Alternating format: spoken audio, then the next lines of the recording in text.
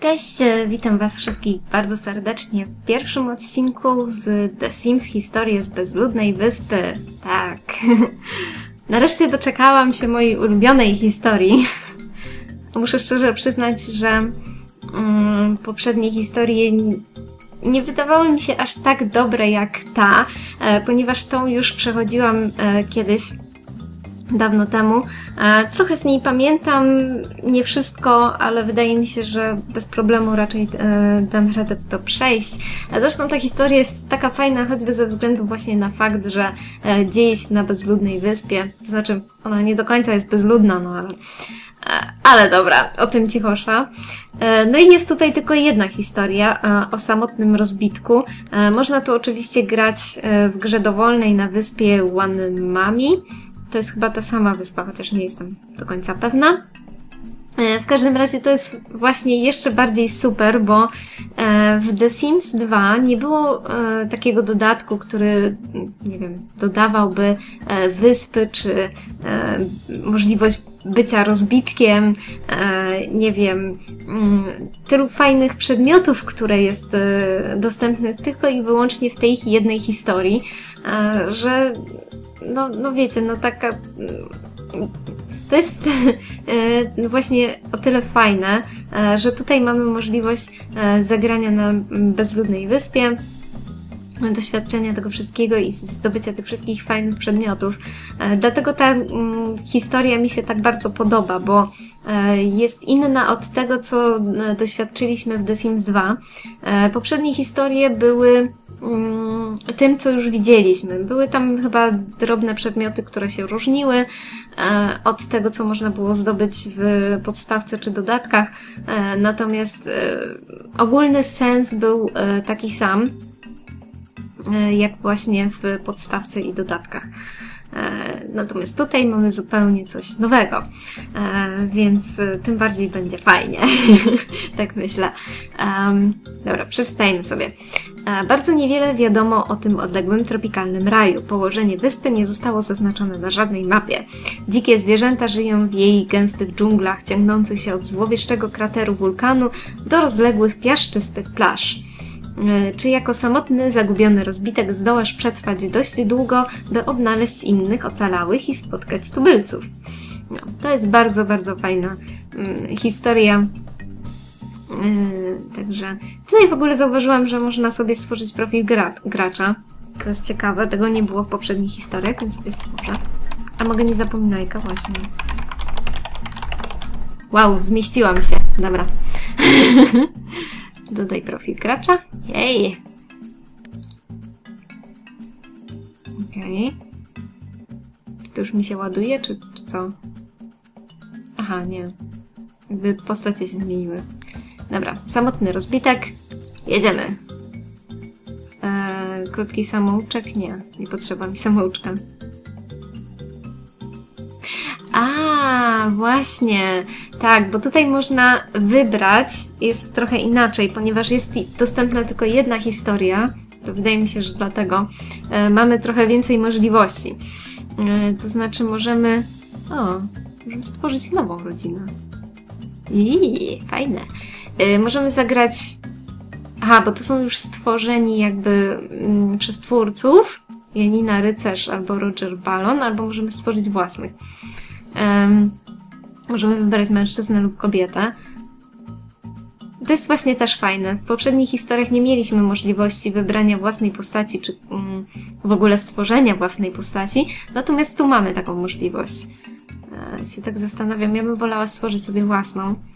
E, Żeglowanie po świecie jako członek luksusowego jachtu ma swoje zalety, ale oznacza także e, czasem samotność. Czy to się ma wkrótce zmienić? Kapitan właśnie ogłosił, że statek zmierza ku wybrzeżu, na którym znajduje się klub Poznaj Przyjaciela. Najmodniejszy ośrodek wypoczynkowy dla singli na całym świecie. To niepowtarzalna okazja, aby poznać miłość swojego życia. Czy o niej pisze to samo? Wczoraj twoje życie wypełniała charówka w SimCity. Dziś, dziś zmierzasz ku najmodniejszemu ośrodkowi dla singli na świecie, aby przygotować artykuł dla magazynu Obieży Świat. E, To życiowa okazja i szansa nie tylko dla Twojej kariery reporterskiej. E, Masz pewność, że gdzieś tam spotkasz te, tego kogoś wyjątkowego. Wybaczcie, ale tym razem nie będziemy chyba grać stworzonymi przez twórców postaciami, tylko właśnie sobie stworzę moją własną simkę.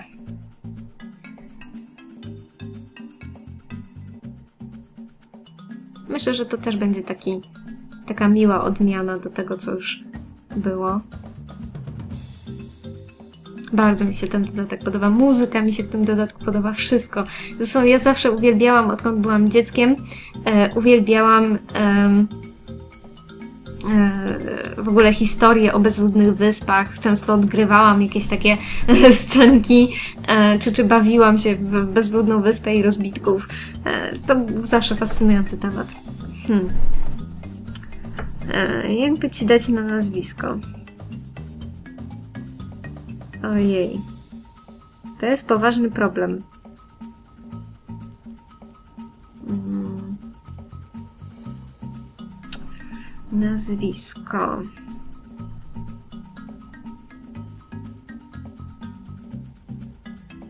Mm. Kurczę. Tak będę pół godziny myśleć nad nazwiskiem teraz. Jeez.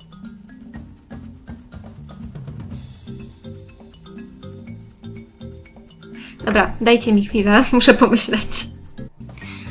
Okej, jestem już z Wami z powrotem. Udało mi się wymyślić imię i nazwisko. Będzie się nazywała Sky Anderson. E, oczywiście to będzie ona. E, tak.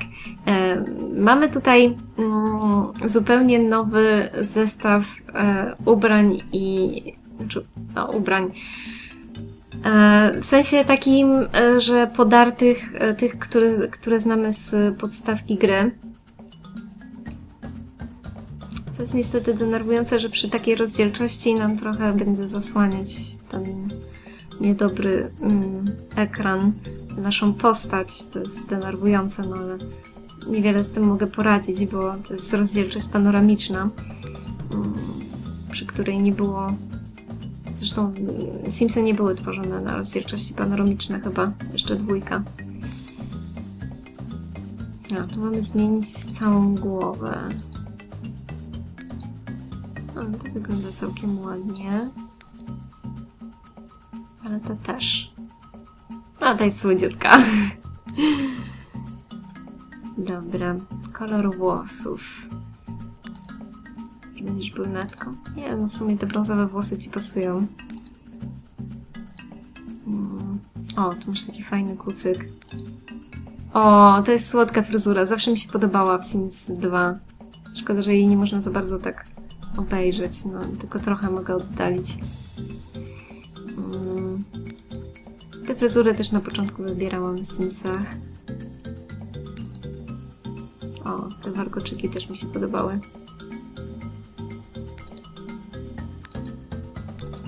No, to też już jest fajna. O, ta jest fajna fryzurka. Ta jest fajna. Yy, tak, która jest niefajna? no to jest pytanie. Czapek to ja nigdy nie wybieram. Zresztą, jak widzicie, te czapki też są zniszczone, jak przystało na rozbitka. e, dobra, ale wybierzemy może tą fryzurkę, którą, która mi się spodobała na początku. O, tą. jest słodziutka. Yy, dobra. Tu możemy wybierać yy, fryzurę do ubrań odpowiednio. Też chyba w którymś dodatku Simsów to doszło. Yy, tu jej chyba nic nie będę zmieniać jakoś specjalnie. Ta twarz mi się podoba. Oczy jej, tylko kolor oczu jej zmienimy na zielony. O, zielony mi się bardzo podoba. Yy, I może trochę jej podniesiemy kąciki ust.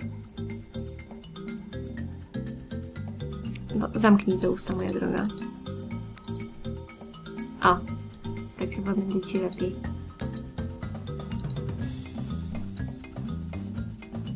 Okej, okay. słodziutko. E, brwicia się tu z jakoś chyba... Chyba nie. A, dobra.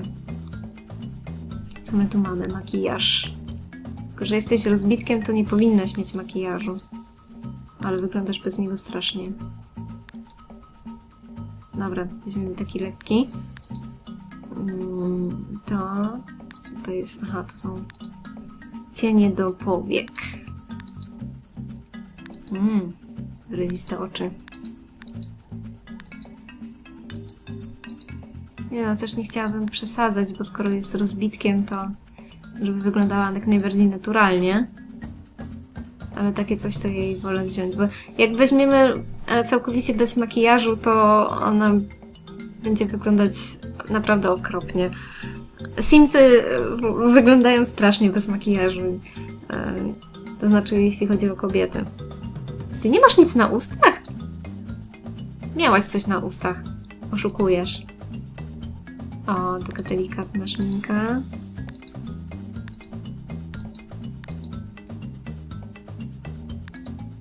O, tu też nie będziemy jakoś specjalnie szaleć. O, to jest takie delikatne.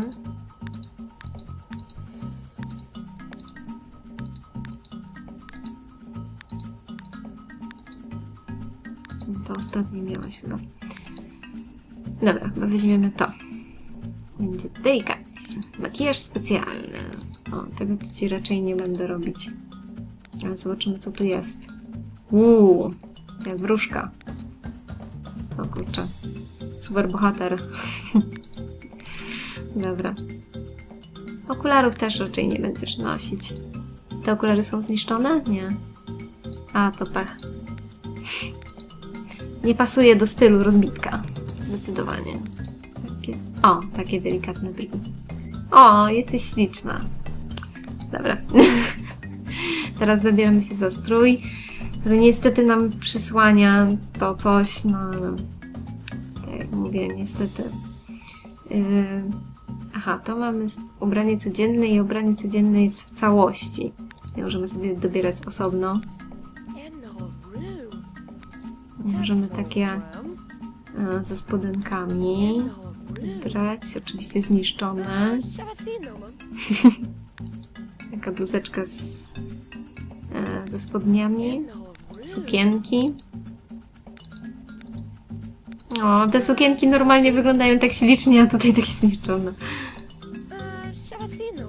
O, to nie całkiem, całkiem. Chcesz ta bluzka? Tak średnio.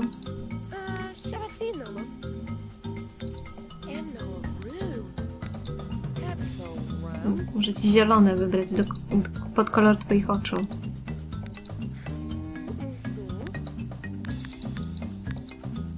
Sama nie wiem. Albo coś takiego. Może coś takiego prędzej. Tym wyglądasz ładnie.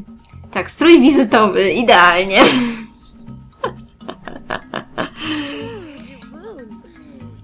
Podarta sukienka. Dobra, wizytowy wybierzemy ci taki. Mm, to jest bielizna? Okej. Bieliznę to ja lubiłam wybierać albo tą czarną, albo białą. Bierzemy tą chyba. E, piżama.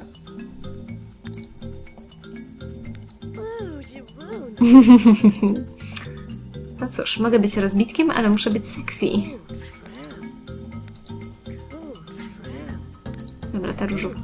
Jest słodka.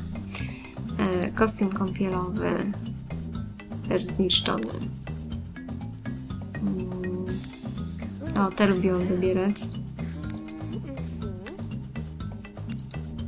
O, ten też jest całkiem, całkiem.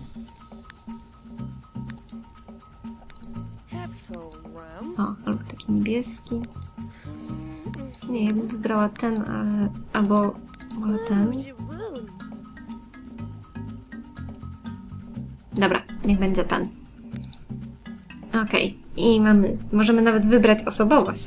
Także naprawdę super jest ta historia pod tym względem. Mm. Dobra, zrobimy z siebie e, nieśmiałą osóbkę.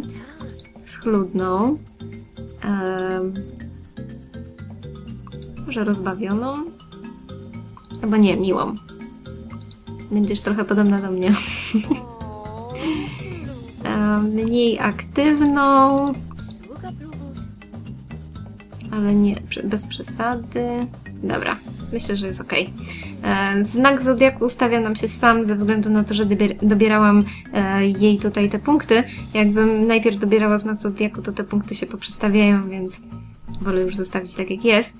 E, No i z aspiracjami zawsze miałam problem w Simsach, bo e, żadne mi nie pasowały. To znaczy, pasowała mi na przykład pragnienie stworzenia rodziny, bo ona jest taka najbezpieczniejsza aspiracja. Natomiast każda inna była taka średnia i e, najczęściej wybierałam albo tą, albo właśnie pragnienie zdobywania wiedzy. Tylko, że najgorsze jest to, że jak wybiera, wy, wybierałam Simowi pragnienie zdobywania wiedzy, to e, potem zmieniało mi się moje nastawienie i chciałam, e, żeby on jednak, e, nie wiem, bardziej romansował albo bardziej spotykał się z ludźmi e, i to przestało mieć e, swój sens w ogóle. E, to dlatego był to taki większy problem dla mnie. Nie wiem. Dobra, myślę, że damy Ci to spragnienie stworzenia rodziny, bo to jest takie najbezpieczniejsze. I co mnie kręci? Co mnie kręci? Hmm. A, powiedzmy, że... Co to jest otyłość? Dlaczego otyłość ma mnie kręcić? Z tego mało. Dobra, bielizna mnie kręci. Yy, I zgrabna sylwetka. A co odrzuca? Smród. Zdecydowanie smród. Dobra. Okej, myślę, że mamy postać wybraną. Sky Anderson. Akceptuj Sima. Wyglądasz pięknie, moja droga. Mogę Cię przybliżyć? Nie, nie za bardzo. Dobrze. Nie mogę nikogo Ci więcej dobrać. tak tylko sprawdzam. Zdjęcie i lecimy. Jezu, ile to czasu zajęło. Masakra. Wybaczcie.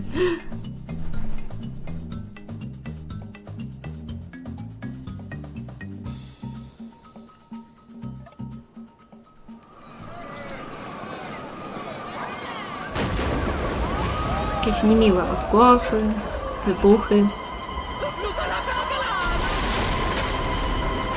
Głosy simów w panice.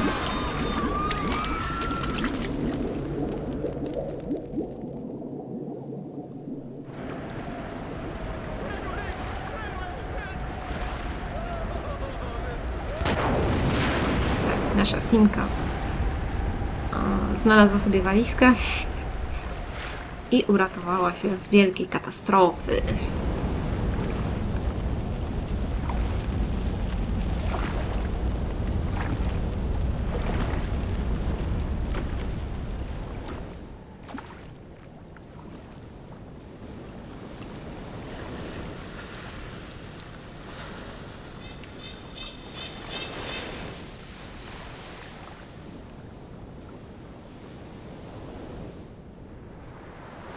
Dwa dni później. Okej. Czyli przeleżeliśmy dwa dni na plaży. W pełnym słońcu. Cudownie. Będziesz poparzona, moja droga. Wstawaj. O, co się stało?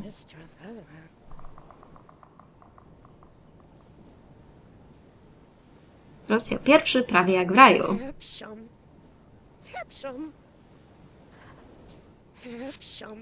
To wygląda na mój statek. Ja pamiętam, jak weszłam na pokład, był pusty, a ja byłam zmęczona. Zasnęłam i obudziłam się tutaj. Najwyraźniej inni w pewnym momencie weszli na statek. Czy przeżyli? Czy mogą e, być tutaj? Teraz nie potrafię o tym myśleć. Gdzie jestem? To miejsce nie przypomina żadnego ze zdjęć w mojej broszurze klubu Poznaj Przyjaciela. No cóż. A co tam jest? Siekiera. Możesz w dowolnej chwili kliknąć na ikonie celu, aby dowiedzieć się, e, jak kontynuować rozwój historii, oczywiście. Tak, i co ciekawe, e, wygląda tutaj też trochę nieco inaczej. Wow. Dobra, tam możemy zobaczyć nasz wrak statku. Mm, nic tutaj nie ma za bardzo w okolicy. Jesteśmy sami na bezludnej wyspie. Czuję się jak w lostach. E, dobra. W każdym razie e, mamy tutaj jakby cykl chyba dnia, czy co to jest właściwie? Nie pamiętam. Czy to jest cykl dnia, czy e, ten? Czy coś odnośnie e, pór roku? Ale wydaje mi się, że cykl dnia raczej i nocy. To będzie zachód. Tak, tak. Aha, bo nie ma zegarka. Właśnie. Nie ma zegarka. Ej, pozbawili mnie zegarka. Jedzenie, zasoby, tak. I zbieramy jedzenie i zasoby. Tego też nie było. Hmm. O, mogę budować. Yy, mamy znaleźć siekierę. Dobrze. E, aha, i jeszcze jedna rzecz, która mnie zastanowiła. E, w opcjach gry jest coś takiego jak ustawienie trudności. Ja tego nie widziałam wcześniej w historii, nie wiem czy to było. Mm, wydaje mi się, że nie i że jest dopiero tutaj. E, nie wiem jaki to ma wpływ za bardzo na historię, ale zobaczymy, zrobimy, że średni. E, dobra. W takim razie, gdzie była ta siekiera? Tu.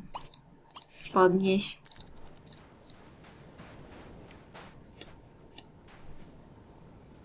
Okej. Mamy siekier. Siekiera! Mam nadzieję, że się przyda. Ciekawe, co jeszcze fale wyrzuciły na brzeg. E, z tej strony raczej nic. Co to? Uuu, skrzynia.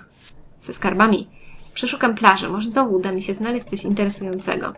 Nazwę to miejsce Wyspą Radości. Z pewnością nic złego nie może stać się na wyspie o takiej nazwie. tak, to bardzo dziecinne z twojej strony, ale... Ale okej. Wyspa Radości. Niech będzie. Chodź tu, przybyszu.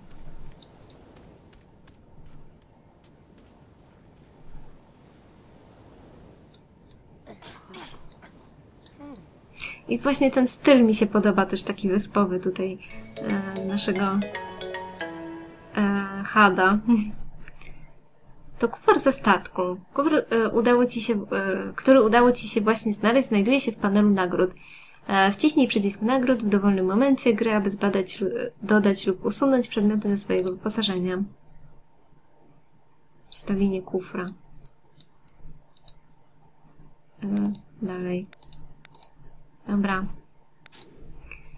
Dobra, w takim razie ten kufer postawimy sobie gdzieś tutaj. Tu będziemy mieli obóz. O. Proszę bardzo.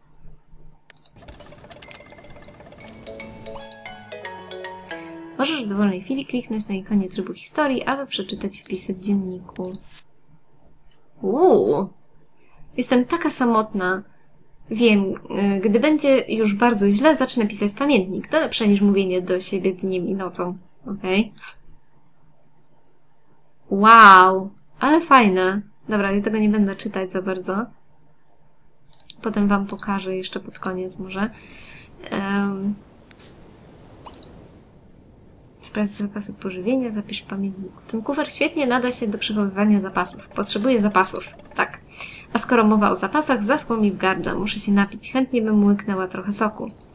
Soku to tutaj nie ma. Możesz wodę co najwyżej. Aha, i tu są takie miejsca właśnie, gdzie e, można iść coś zbadać. I w ten sposób się przenosimy po całej wyspie. Tutaj niektóre części będą i tak zablokowane, ale po, jakimś czasie się odblokują. E, Okej. Tak, wor- mo- woda morska się nie nadaje do picia, ale pamiętam, że gdzieś mówili o dwóch rzeczach niezbędnych do przetrwania. To było mleczko kokosowe i coś innego. Bieżąca woda? Telewizja? Nie mogę sobie przypomnieć. E, dobra, pytanie. Czy te kokosy... A, tu. Obserwuj horyzont, wygłupię się. Dobrze, wypij mleczko kokosowe. Słoneczko świeci. No gdzie już od razu poszłaś pływać? Kobieto, przecież byłaś spragniona. Spinaj się na drzewo. Swoją drogą poszukałabym jakiegoś strumienia czy coś górskiego. Jakieś ze słodką wodą.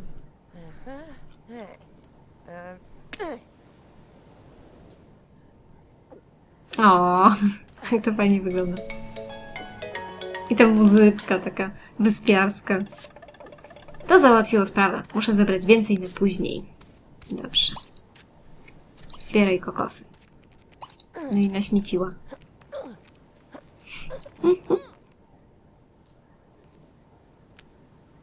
A, tu mamy temperaturę.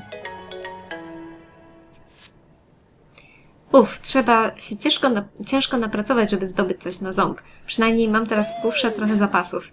Hmm, co powinnam robić dalej? Ogień jest niezbędny, jeśli chcę tu przetrwać. Muszę narąbać trochę drewna. Dobrze, rąb drewno. Akurat takie, nie mogłaś zrąbać jakiejś palmy? Też w sumie. Te palmy to tu wyglądają dość solidnie. Możesz sprawdzić, jak wiele zapasów posiada twój sim, patrząc na licznik zapasów. Tak, widziałam już. Pora dobrze wykorzystać to drewno. Teraz, gdy udało Ci się zebrać trochę zapasów, możesz zacząć ich używać do tworzenia różnych obiektów. Włącz tryb e, barteru, aby przekonać się, co możesz zbudować. Im więcej materiałów zbierzesz, tym więcej obiektów będzie można stworzyć. Tak, ponieważ tutaj nie ma pieniędzy, bo to jesteśmy rozbitkiem, to jest to przeliczone na e, właśnie zapasy, e, co jest bardzo fajne i bardzo adekwatne. E, więc to mi się bardzo podoba. No i zobaczcie, ile tu jest fajnych rzeczy różnych. Kurczę. E, typowo wyspiarskich, wiecie, stworzonych tylko i wyłącznie dla tej historii. O. Pułapka, nocne wyobrażenie. Swoją drogą mam coś takiego. E, e, jakieś skały, tutaj śmietniki, e, miejsca do gotowania, co to jest? O, palenisko nienasycony głód, jakaś stara kuchenka, e, albo kuchenka jakieś, jakaś taka wyspiarska, w wyspiarskim stylu. Tutaj e, bufet tropikalny, e, łóżka jakieś specjalne, o. Łóżko, hamak, łóżko z baldachimem, nawet łożyczko dla dzieci. Mega, mega fajne to jest. E, dobra, powinnam zbudować co? Ognisko chyba. Tak, e, dobrze. Rozumiem, że to. Dobra, weźmiemy to, bo jest tańsze na razie. Rozpal ogień. Tak, e, chcecie się siusiu, ja nic nie chcę mówić. Bambusy.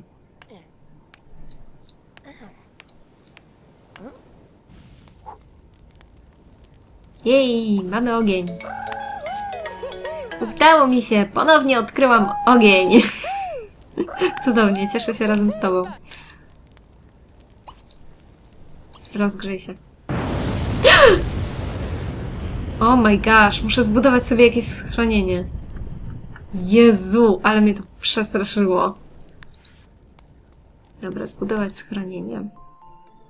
Czy nas stać na schronienie? Weźmiemy sobie takie, bo to są jakieś zwykłe liście. A to nam przynajmniej mamy jakiś dach nad głową. Lub cokolwiek, co ten dach przypomina. Tak, to jest problem, gdzie to ustawić. No come on. Dobra, niech będzie tu. Mogłam to ognisko w sumie, a mogę je przestawić. Dobra, je tutaj. Miejsce do spania i siedzenia z odzysku łapacz bryzy to przytulne, choć dość przewiewne schronienie, ale na razie musi mi wystarczyć. Powinnam trochę się przespać i tak nie ominie mnie żadna szalona impreza. Mam nadzieję, że to wszystko jest tylko wielkim, wyrafinowanym żartem. Może ktoś mnie po prostu wrabia. Tak. Dobra, to idź spać.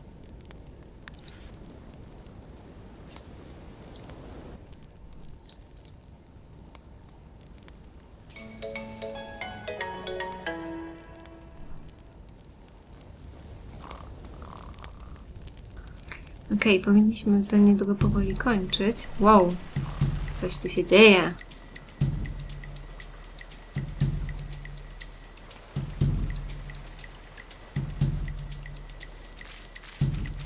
Mmm.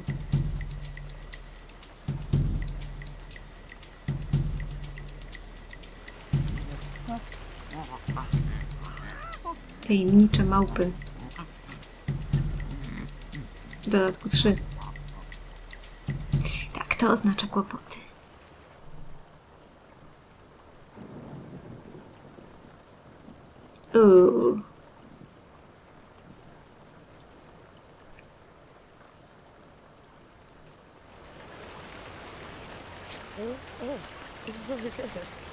O, rozdział drugi przetrwam.